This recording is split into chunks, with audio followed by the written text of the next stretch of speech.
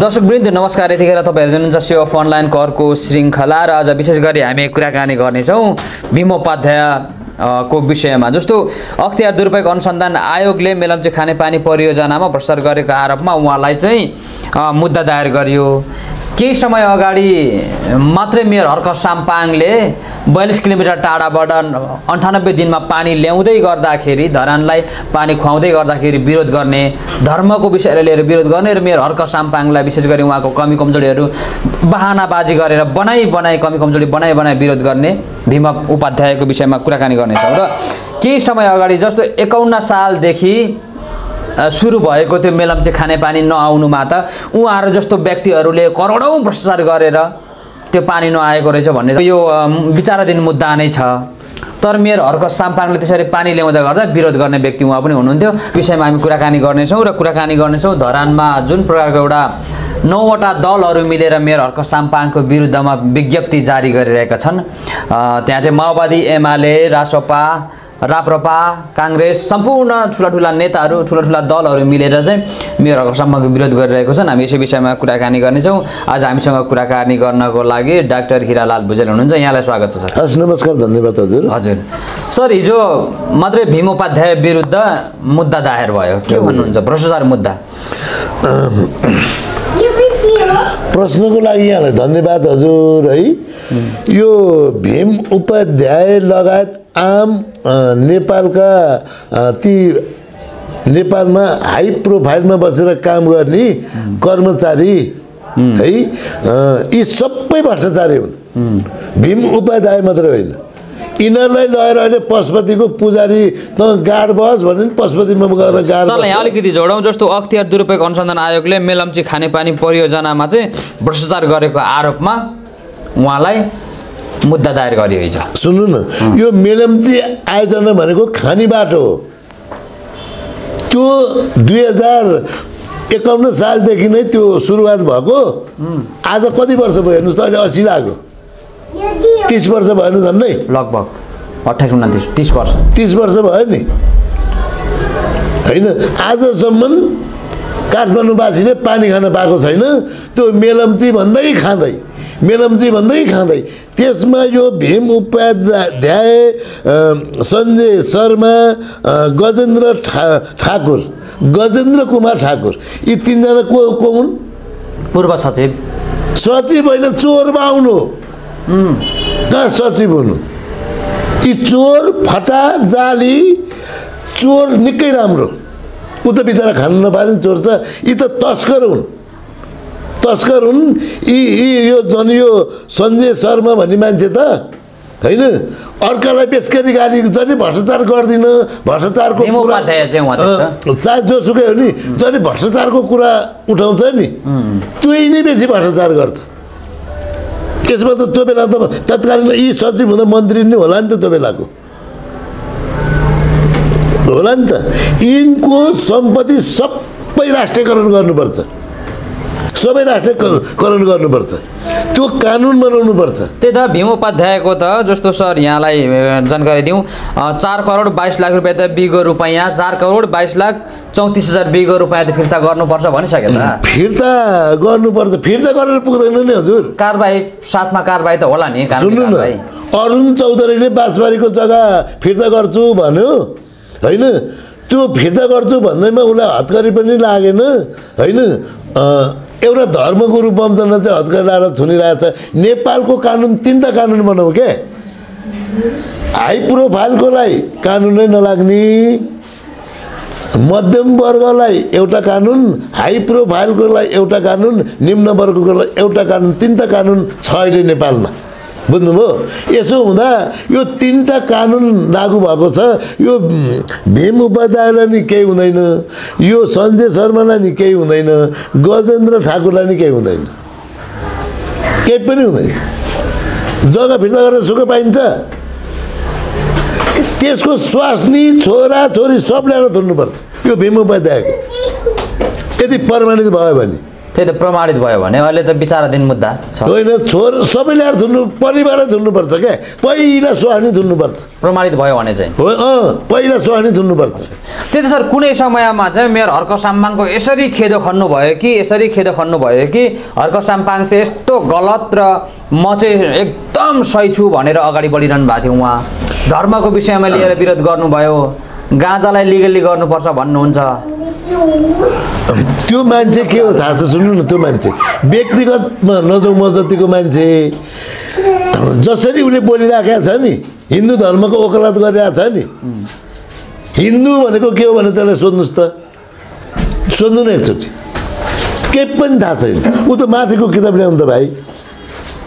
त्यो सबै किताब यहाँ ल्याउनु ऊ त मनुस्मृतिको पनि ल्याउनुहोस्। सुन्नुहोस् है त। यो वेद छ नि यो वेद। यो वेदलाई हिन्दू धर्मको वकालत गरेको यो वेद हिन्दू हिन्दू नै होइन। यो वेदले हिन्दू भनेको छैन। यसले त संसारको सृष्टिको कुरा गरेको छ। बुझ्नुभयो? संसारको सृष्टिको कुरा गरेको छ। यसले क्रिस्चियनलाई नराम्रो पनि भनेको छैन। होइन? हिन्दू भनी शब्दै यो वेदमा छैन। यो वेदमा हिन्दू भन्ने शब्दै छैन। अब यो वेदभन्दा पहिलाको किताब के भनेर सोध्नु न त्यो पो कुरा हो त। अब यो जस्तो अर्को यो मनुस्मृति। सबैभन्दा वेदको पनि हजुरबा हो यो मनुस्मृतिको किताब। बुझ्नुभयो? यो किताब हो। अब यहाँ केही त्यो श्राद्ध गर्ने बाहुन बिचरा एउटा एक खालको बाहुन छुट्टै छ। यो पन्ना बाहुनहरूले बिगारेको देश हो यो। पन्ना बाहुन भने मैले। सबै बाहुन भनिनँ। बाहुनवादको विरोध हो। बाहुनको विरोध होइन मेरो। है अर्को कुरा बुझ्नुहोस्। अब तपाईँले जुन सोधेको भ्रष्टाचारकै कुरामा कुरा गरौँ न हजुर। ललिता निवासको के भयो? त्यत्रो मान्छे तस्कर गरेको भुटानी शरणार्थीमा के भयो? होइन? मलाई एउटा कुरामा चाहिँ के चाहिँ ऊ लागेको छ भने यी मान्छे त अब जति पनि यो अख्तियार अनुसन्धान आयोग छ नि। अख्तियार अनुसन्धान आयोगको जुन समिति नै भ्रष्टाचारी हो। अख्तियार अनुसन्धान आयोगको जुन अख्तियार गर् जुन छ नि त्यो अख्तियार अनुसन्धान आयोग यो नै भ्रष्टाचारी छ। होइन उहाँले त भ्रष्टाचार ल्याएर त खोजिरहनु भएको छ के खोज्ने केही खोजेको छैन।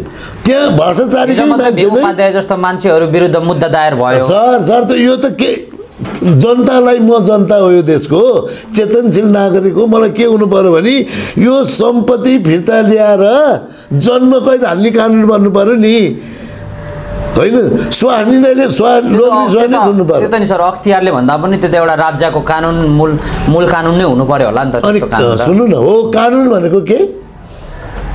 संविधान एउटा भयो संविधानमा टेकेर कानुन बन्नु पर्यो क्या संविधानलाई टेकेर कानुन बन्नुपर्ने त्यो संविधानलाई चाहिँ के गर्यो भने यिनीहरूले आफू बत्नी मात्रै कानुन बनायो के? जस्तो यो अख्तियार अनुसन्धान आयोगले मानव अधिकारलाई छुन पाउँदैन अदालत छुन पाउँदैन न्यायाधीशलाई कारवाही गर्न पाउँदैन अख्तियार अनुसन्धान आयोगले। अदालत छिर्न पाउँदैन नि अख्तियार अनुसन्धान आयोग। त्यस्तै यी जातीय आयोगहरू छ नि यहाँ छुन पाउँदैन। मन्त्रालयमा छुन पाउँदैन। यस्तो आयोग के काम यो? यो यो आयोगै खारेज गर्नुपर्छ। बुझ्नुभयो? यो जिम्मा प्रहरी प्रशासनलाई दिनुपर्छ। यो विषयमा हामी कुराकानी गर्न नै छौँ सर जुन प्रकारको हिजो घटना घट्यो नि जस्तो जस्तो उहाँहरू भीम उपाध्याय लगायत केही व्यक्ति तिनजना पूर्व सचिवसहित उन्नाइसजना जुन दायर भयो उहाँहरू विरुद्ध मुद्दा अब के गर्नुपर्छ सर? तपाईँले अघि पनि भन्नु त भन्नुभयो तर यो जुन उहाँहरूलाई आरोप लाग्यो प्रष्ट अब कानुनमा नै पुग्दा पुग्दै अदालतमा फैसला हुनुभन्दा अगाडि नै मुनि मुनि नै मिलाउला कि पैसावाल मान्छेहरू हुन् भन्ने पनि छ। के लाग्छ सर? यो त्यतिमा त्यो तपाईँले भने जस्तो त होइन। जे गरिबलाई जस्तो कानुन लाग्दैन यिनीहरूले यो चाहिँ पैसा दिन्छन्। अहिले न्याय किन्न पाइ न्याय किन्न पाइने देश भनेको नेपाल मात्रै हो। न्याय किन्न पाइन्छ यहाँ यो केही पनि हुँदैन। यसरी बोलिराख्दाखेरि त हामीलाई अप्ठ्यारो पर्न पनि सक्ला नि सर यो न्याय किन्न पाउने देश भनेको नेपाल मात्रै हो हजुर। म प्रमाण दिन्छु नि म तपाईँलाई। अहिले जनताले आवाज उठाएर स्ट्रङ भएको मात्रै हो। रञ्जन भन् कोइराला भन्ने मान्छेले श्रीमती मारेर बोरामा हालेर पेट्रोल लगाएर उहाँ गाउँको जङ्गलमा लगेर फालेर है? अनि त्यस्तो मान्छेले मलाई मनमा लाग्यो भनेर न्यायाधीशले छुटाएको केस त तपाईँका क्यामेरामा कैद होला नि। हजुर। जन्मगत परेको मान्छे। यहाँको राष्ट्रपति नै रिगल भन्ने दललाई छोडेको त नि याद होला नि त। हजुर त्यो छुटिसकेको थियो। यो जनताले विरोध नगरेको भए हामी जस्ता होइन मान्छे नबनेको भए त्यो छुट्या। हो हजुर। सर हामी यो विषयमा कुराकानी गरौँला जस्तो धरानमा चाहिँ नौवटा दलहरू मिलेर अर्को साम्पाङ विरुद्ध विज्ञप्ति निकालेर विरोध गरिरहेका छन्। जस्तो त्यहाँ चाहिँ विशेष गरी रासोपा एकदम धेरै अग्रसरमा लाग भएर लागिरहेका छन्। जस्तो भन्नेले त अहिले के भन्न थाल्यो भने रासोपा पनि त्यही माओवादी काङ्ग्रेस एमालेको कान्छो भाइ रहेछ भनेर पनि भनिरहेछ तपाईँ चाहिँ? नेपालमा दल छैन दलाल छ। ए दल होइन दलाल हो कम्पनीहरू हुन्। दल छैनन् दलालहरू छन्। दलालले गर्ने यही हो। हर्क यहाँ राम्रो काम गर्ने यो देशै होइन। यो राम्रो काम गर्ने देशै होइन। राम्रो काम गर्ने मान्छे त के हुन्छ थाहा छ यहाँ? मार्छ। गुन्डा लाएर नि मार्छ। होइन? प्रशासन लाएर नि मार्छ। राम्रो काम गर्ने देश सतीले सरापेको देश नेपाल हो। के भनेपछि अब मेयर हर्क साम्पाङ विरुद्ध पनि त्यस्तै प्रकारको कदम चाल्न लागेको हो नि त। हो।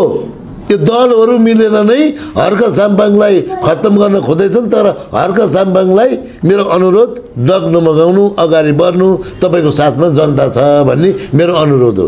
हर्क साम्पाङलाई नचलाउँदा हुन्छ। तर नि सर यो रासोपालाई चाहिँ कसरी हेर्नुहुन्छ? अस्ति रासोपाको एकजना नेताबाट त कस्तो भिडियो पनि गोप्य भिडियो आउट भयो भने अब हामी हर्क साम्पाङलाई सकाउनै पर्छ। धरानमा रासोपा जन्मेको भनेकै मेयर हर्क साम्पाङलाई सकाउनको लागि हो भनेर पनि आउट भए। अनि धेरैजना दलहरू मिलेर अगाडि बढिरहेका छन् सकाउनको लागि तर हामी चाहिँ प्रथम हुनुपर्छ है चौरासीमा हामीलाई फाइदा हुन्छ भनेर पनि भन्नुभएछ। गोप्य अडियो त्यसरी बाहिर आयो। रासोपालाई कसरी हेर्नुहुन्छ तपाईँ अहिले? अँ, रासोपा एउटा म के अर्थमा रासोपालाई सही पनि भन्छु भने यो राजनीतिक दलहरूले नै हर्क साम्पाङ जन्मा हो नि।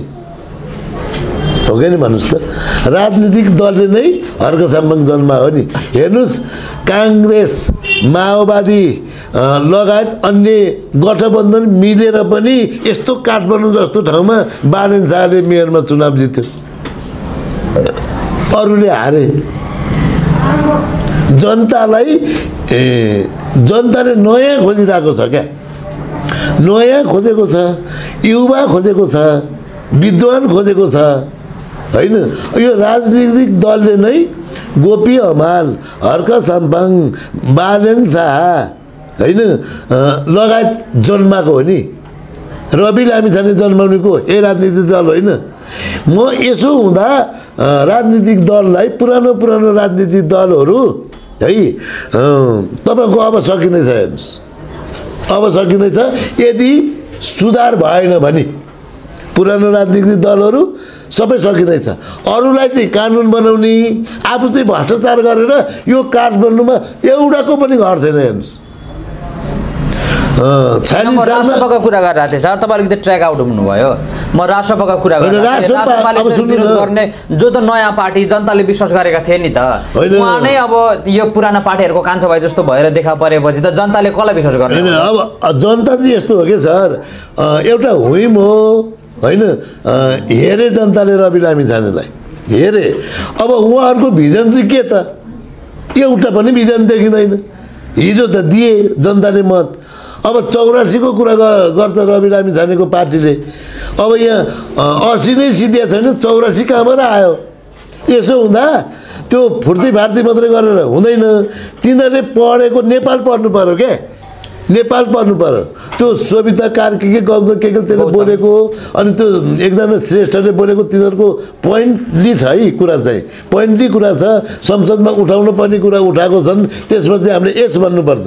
तर जुन कानुन बनाउने कुरा छ नि संस सभासदले गर्ने काम कानुन मात्रै बनाउने हो। उसले अरू कुरामा हस्तक्षेप गर्न पाउँदैन। रवि लामी छानेले त्यो कुरा गर्ने अधिकारै छैन। हर्क साम्बाङलाई विरोध गर्ने अधिकारै रवि लामी छानेको पार्टीलाई छैन। कसैलाई कार्यकर्तालाई पनि छैन। किन थाहा छ? ऊ त संहिताको विरोध गरे हो नि। सङ्घ तपाईँको परदेशमा मान्छे त उठाएन। परदेशमा मान्छे नउठाएपछि उसलाई विरोध गर्ने अधिकार छैन। उसले सङ्घीयता मानेन। होइन? संहिता पनि मान्दिनँ भन्ने। अनि राज्यको सत्तामा पनि जाने। यो के हो? यो दोक्ला काम हो। बुझ्नुभयो? यदि संविधान मानेको हो भने संविधान मानेरै चुनावमा गएको हो नि। हजुर। अनि संविधान मानेर चुनावमा जाने परदेशै मान्दिनँ भन्ने। परदेशमा मान्छे नउठाउने। परदेशमा त उसले त मान्छे त उठाएन नि। अनि सरकारमा चाहिँ फेरि किन गएको? अनि गृहमन्त्री नै किन भएको? कुरा धेरै छ हजुर यहाँ। कानुनी जस्तो रूपमा सर यो हर्क साम्पाङलाई सघाउँछौँ भनेर विज्ञप्ति निकाल्दै यो यत्रो ठुला ठुला नौवटा दल जो विकासको पक्षमा देश विकासमा लाग्नुपर्ने तर हर्कलाई सघाउन सकि लागिरहेको छन्। यो किन होला सर? किन म? एउटा कुरा बताउँ सर। यो कानुनै गलत छ। जस्तो सिडिओ कार्यालय संविधानले चिन्दैन। त्यस्तै जिल्ला समन्वय समिति भनी छ नि। यो खारेज हुनुपर्छ। जिल्ला समन्वय समिति खारेज हुनुपर्छ। होइन सर यो ठिक छ। तपाईँले सधैँ भन्नुहुन्छ यो कुरा। जस्तो मैले अघि ठ्याक्कै क्वेसन सोधेँ जनताले बुझ्ने गरी यहाँले भन्नु पर्यो। विरोध किन गर्छन् क्या? विरोध किन गर्छन् भने? नि यो विरोध गर्नुको कारण विकास विरोधीले विरोध गर्ने हो क्या सर यो जिल्ला देशको सबै पार्टीहरू विकास विरोधी। विकास विरोधी हो। उनीहरूले चाहने चाहिँ के हो त? विकास उनीहरूले चाहने चाहिँ त्यो उसको पक्षमा विकास गर्न पाएको भएदेखि होइन पचहत्तर पर्सेन्ट खाएर पच्चिस पर्सेन्ट विकास हुन्थ्यो अनि उसले विरोध गर्दैन त्यो होइन भनेपछि स्वतन्त्रबाट आएर मेयर हर्क साम्पाङ शाह जस्तो मान्छेहरूले विकास गर्दा चाहिँ गर्दाखेरि नपाएर विरोध गरेका। विरोध गरे यो। भ्रष्टाचार गर्न नपाएर खान नपाएर विरोध गरेको समिति त्यही त म भन्दैछु त भाइ हामी अलिक गहिराइमा पुग्नु पऱ्यो क्या जिल्ला समन्वय समिति तपाईँको संविधानले चिन्दैन। त्यस्तै सिडिओ पनि संविधानले चिन्दैन। चिन्छ को भने स्थानीय सरकार प्रदेश सरकार केन्द्रीय सरकार। सरकार छ तिनवटा सिडिओ पनि छ। होइन? त्यस्तै अब जिल्ला समन्वय समिति पनि छ। यो किन राख्या? यो त संविधानले चिन्दैन। यो चाहिँ खारेज हुनुपर्छ हजुर। यो चाहिँ खारेज तपाईँको भनाइअनुसार यहाँ पाँच छ सात प्रकारको तहको कानुन छ भन्ने कुरा लाग्यो। कानुन सरकारै त्यति छ। नि। सरकारै छ नि। तर संविधानले त तिन तहको सरकार मात्रै चिन्छ चिन्छ। संविधानले। अरू जिल्ला समन्वय समिति चिन्दैन। यो सिडिओ पनि चिन्दैन। तर यिनीहरूले होइन अब यो जुन नचिन्ने चाहिँ संविधानले चिन्ने भनेको स्थानीय सरकार प्रदेश सरकार केन्द्रीय सरकार। हजुर। यो सिडिओ खारेज हुनुपर्छ। हुन्छ सर हामी यो विषयमा कुराकानी गरौँला। यहाँलाई मिठो समयको लागि। नमस्कार हजुर नमस्कार।